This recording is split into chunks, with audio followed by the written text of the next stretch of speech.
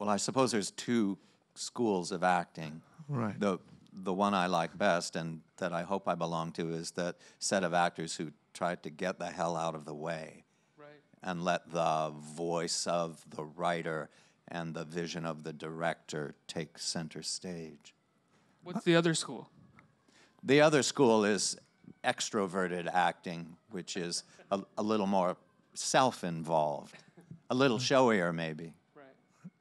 I think you know if you like other people, y- yeah, eh, eh, some people do and some people don't. uh, that that that's a big, that's helpful.